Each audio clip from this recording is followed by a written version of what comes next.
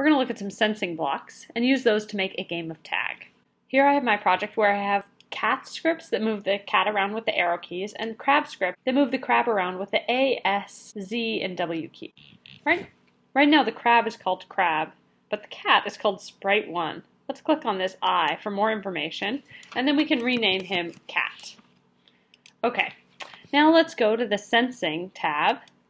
And in Sensing, I can click on this, Touching Crab. So here, the cat can check if it's touching the crab. We can set up another block so that it's always checking if it touches the crab, and when it does, it'll say, oh no.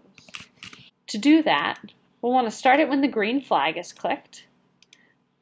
We need an if to check if we're touching the crab, and if it is touching the crab, we'll say, oh no.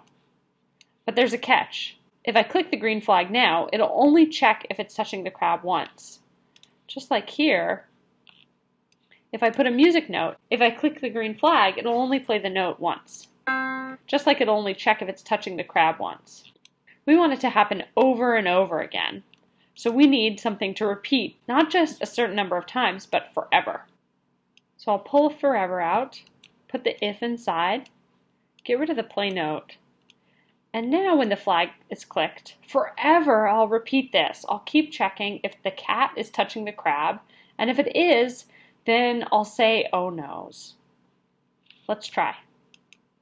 So they're not touching right now, but if I move the cat over and touch the crab, then it says oh no's.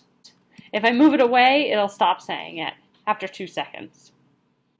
It's really important to have this forever around the if because we want to keep checking if the cat is touching the crab.